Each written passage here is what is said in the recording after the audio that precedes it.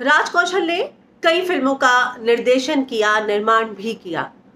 अब उनकी एक वेब सीरीज़, उसमें वो एक शख्स को स्पेशल पर्सन को चाहते थे और उनकी आखिरी बार उससे बात भी हुई थी। जी हाँ अब उस शख्स ने खुद आगे आकर बताया कि कैसे राज ने उन्हें एक रोल ऑफ़र किया था और वो चाहते थे उनके साथ काम करना। मैं बात कर रही हूँ रौनित रॉय की। रोनित रॉय ने खुलासा किया है कि राज कौशल से उनकी बात हुई थी। मिड मे का उन्होंने ज़िक्र किया। तब जो है वो भी गोवा में थे और राज भी गोवा में थे। राज वहाँ पर एक वेब सीरीज़ का शूट कर रहे थे और उन्होंने कहा कि मुझे एक दिन अचानक से राज का फ़ोन आ गया। उसने कहा कि, सुन, मुझे तेरे साथ काम करना है। एक बहुत ही इंपॉर्टेंट रोल है सीरीज़ में। फ़र्स्ट पार्ट में थोड़ा है सेकेंड पार्ट में जो है हम इसको मतलब ज़्यादा तुम्हारा काम जो है सेकंड पार्ट में है। ऐसा रौनित को लगा उसकी बात से, क्योंकि उन्होंने कहा कि राज ने कहा कि अभी फ़र्स्ट पार्ट है, उसमें जो है थोड़ा थोड़ा काम है।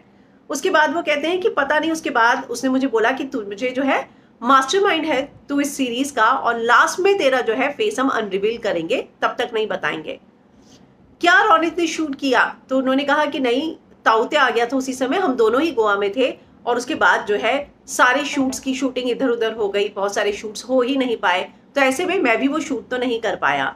लेकिन अब रोनित ने कहा है कि जो अक्कड़ बक्कड़ की वो बात कर रहे हैं, वो उनकी वेब सीरीज़ थी, जो राज ने डायरेक्ट की तो वो कह रहे हैं कि मैं सच में इस बात पे विश्वास नहीं कर सकता कि जो शख्स कुछ दिनों पहले तक काम को लेकर मुझसे डिस्कशन कर रहा है, अब वो इस दुनिया में नहीं रहा।